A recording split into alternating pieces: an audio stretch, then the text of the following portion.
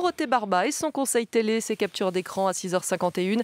Ça va pas Dorothée? Vous avez l'air gênée Ben oui, à quoi je peux servir aujourd'hui Mathilde?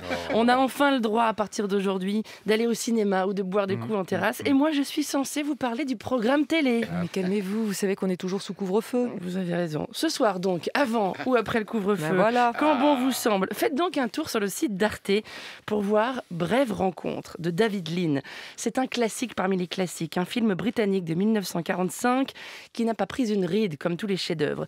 C'est l'histoire d'un amour fugace et empêché, un mélo magistral. C'est pas souvent hein, que le mot mélo est employé de façon positive. Il le mérite pourtant. Brève rencontre est un superbe mélodrame. Sans doute, osons le superlatif, l'un des plus beaux films d'amour de l'histoire du cinéma, porté par deux magnifiques acteurs, Celia Johnson et Trevor Howard. Please let me look. I happen to be a doctor. That's very kind of you. Oh, turn around to light, please. That's how it all began. Just through me getting a little piece of grit in my eye. C'est ainsi que tout a commencé, juste une poussière dans l'œil et un inconnu qui l'aide à la retirer. Laura est femme au foyer, mère de deux enfants, elle vit dans la banlieue de Londres. Une fois par semaine, elle prend le train pour Milford, où elle fait des courses et en profite pour aller au cinéma. Un jour à la gare, elle, tombe- elle rencontre Alec, qui est médecin. Il y a donc cette poussière dans l'œil, et puis d'autres rencontres. Ils vont se croiser à la gare chaque jeudi. La complicité cède rapidement la place à un amour immense, immense mais impossible, car Alec et Laura sont tous les deux mariés et tous les deux très attachés aux convenances. L'image est d'une beauté rare.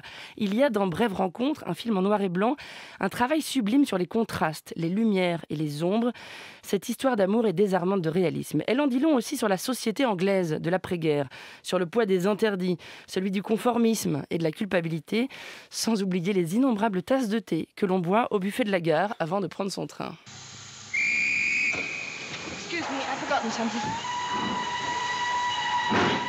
Ce qui me touche infiniment dans ce film, c'est le rôle de la gare, justement.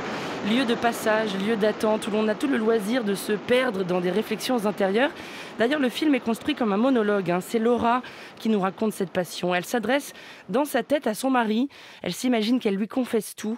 Loin de la trouver trop prude ou trop sage, on est submergé avec elle et convaincu avec elle que les autres, tout autour, sur le quai ou dans le wagon, doivent la dévisager. Ça doit forcément se voir, ce feu qui brûle en elle.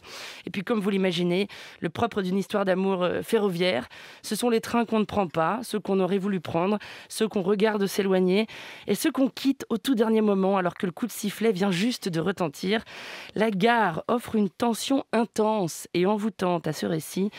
Que c'est triste, un train qui siffle dans le soir. Brève rencontre à voir gratuitement sur le site d'Arte. Le film est est disponible jusqu'au 1er juin.